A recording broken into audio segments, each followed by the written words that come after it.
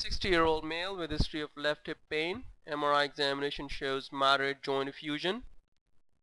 The iliopsoas bursa is distended with the synovial thickening and proliferation consistent with bursitis.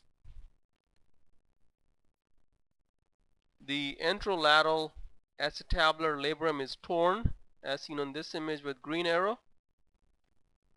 There is full thickness chondral erosion of the superolateral acetabulum with subchondral reactive edema in the adjacent acetabulum as seen on this image with white arrow. Findings are consistent with iliopsoas bursitis and left acetabular labrum tear along with full thickness chondral erosion of the superolateral acetabulum.